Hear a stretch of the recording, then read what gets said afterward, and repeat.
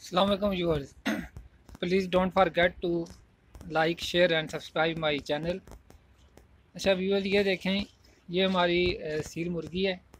ये तकरीबन नौ माह की हो गई है। यानी अप्रैल में ये पैदा हुई थी।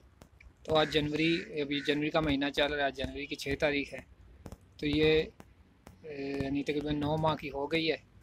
तो इसने आज पहला अंडा दिया है। क्योंकि कल बारिश हुई है बहुत तेज़। तो आज सुबह इसने अंडा दिया ये देखें, ये अंडा है। ये अपने अंडे को देखें, चक मार है, मार रही है। ये असील मुर्गी का अंडा है, यानी इसी मुर्गी का अंडा है, और ये एक वाइट वाला अंडा है। तो ये वाइट अंडा जो है, ये दूसरा गोल्डन मिस्री ब्लैक मुर्गी है उसके। और ये जो असील अंडा है, ये वाला छोटा ये थोड़ा सा छोटे साइज़ में, ये इस मुर्गी का है, ये असील मुर्गी है। तो अभी उम्मीद तो है ये जब दस बारह अंडे देगी और उसके बाद ये कुड़ुक हो जाएगी तो इसको चूल्हों में बिठाएँगे। यानी नौ माह की उम्र में इसने अंडे देने शुरू किए हैं। और इसके साथ जो मुर्गा है वो फ़िलहाल ये वाला है गोल्डन मिसी मुर्गा है।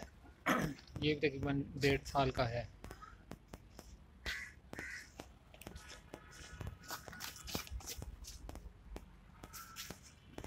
और ये जो वाइट बड़ा अंडा है वो इस मुर्गी का है इस ब्लैक हैन का है। तो प्लीज़ इस वीडियो को आप लाइक करें और शेयर करें।